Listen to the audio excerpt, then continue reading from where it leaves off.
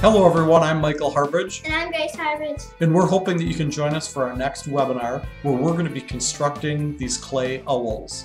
We're going to show you all the different tips and tricks for doing these with cast pieces, with hand-built ware, or clay puzzled creations. You can get all the details by going to www.ifiredarts.com. Hope to see you at the live webinar.